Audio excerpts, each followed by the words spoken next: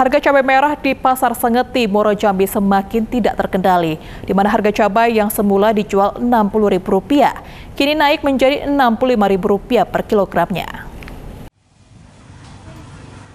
Harga cabai merah terus mengalami kenaikan dan masih tidak terkendali di pasar tradisional Sengeti, Moro Jambi.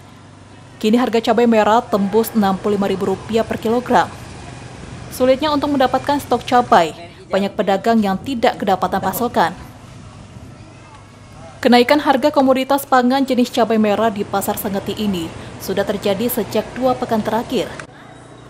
Sedangkan jenis cabai rawit masih bertahan di harga Rp60.000 dan cabai setan dijual Rp80.000 per kilonya.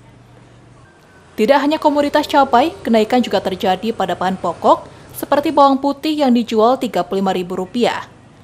Tingginya harga ini dikeluhkan oleh pedagang karena berimbas kepada omset yang didapatkan.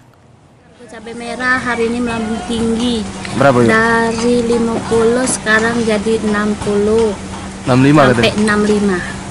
Macam-macam jenis barang. Yang paling super tuh 65. Oh, kenapa yuk ada kenaikan lagi gini? Mungkin lambat di jalan.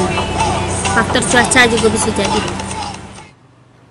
Pedagang tidak dapat memastikan sampai kapan harga cabai dan bawang putih akan kembali turun di harga normal. Pasalnya kenaikan harga komoditas tersebut diduga karena minimnya ketersediaan di agen. Novia Putri Sanjaya, Cek TV, melaporkan.